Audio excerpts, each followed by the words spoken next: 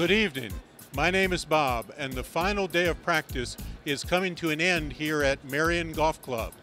Today we enjoyed sunny skies all day. There's been no rain. It's been perfect weather to enjoy the final rounds of practice. You still have time to join us at Merion Golf Club to see many of the top ranked golfers in the world. Reporting live from the U.S. Open, I'm Bob. Happy Father's Day. See you on the golf course.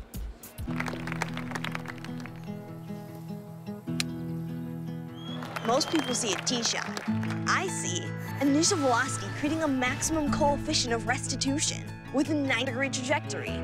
I see more kids like me getting excited by STEM, science, technology, engineering, and mathematics. Fact is, 15 out of 20 of the fastest growing jobs will require science and math. Chevron is proud to partner with the USGA to develop STEM programs. Join us and help inspire our kids.